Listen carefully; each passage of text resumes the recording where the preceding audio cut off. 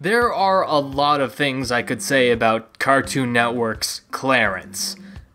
I could talk about the Skyler Page fiasco. I could talk about how it's not exactly setting the best example for younger audiences. I could talk about how, even though it takes place in a relatively uninteresting suburban location, the series knows its audience so well and what goes on in their minds that it's able to stay interesting. But today, I'd like to talk about its character design.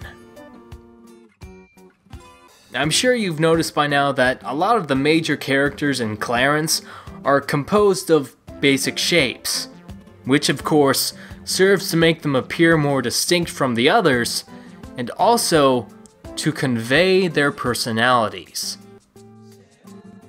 I am in no way an expert on character design myself, but I have learned enough to know that there is a certain psychology involved with basic shapes, especially the big three that we've known since elementary school the square, the circle, and the triangle.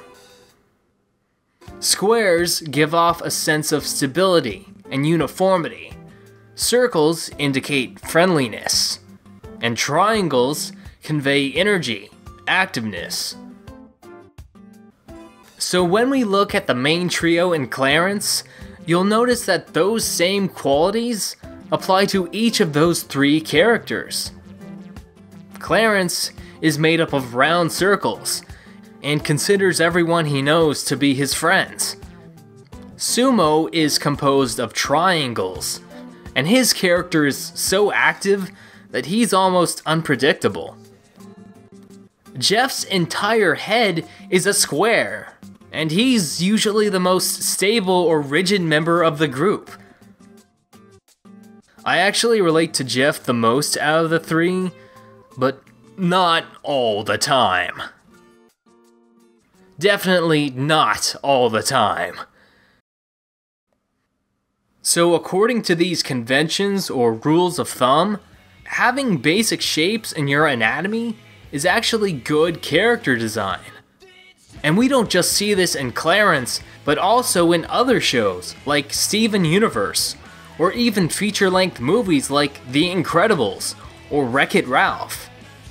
Wreck It Ralph even designed their locations around each of these same three basic shapes.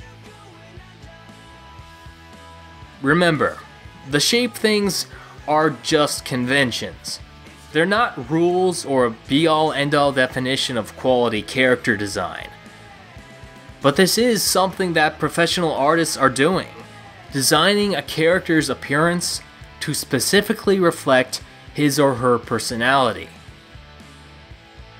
And because it's not as subtle about it, Clarence is able to illustrate these concepts almost perfectly. This show is worth watching not just for its comedy or its relatableness, but also because you can learn something from it. Except for when they get away with trespassing, wrecking supermarkets, and creating excessive property damage. Don't do that! but the character designs are good.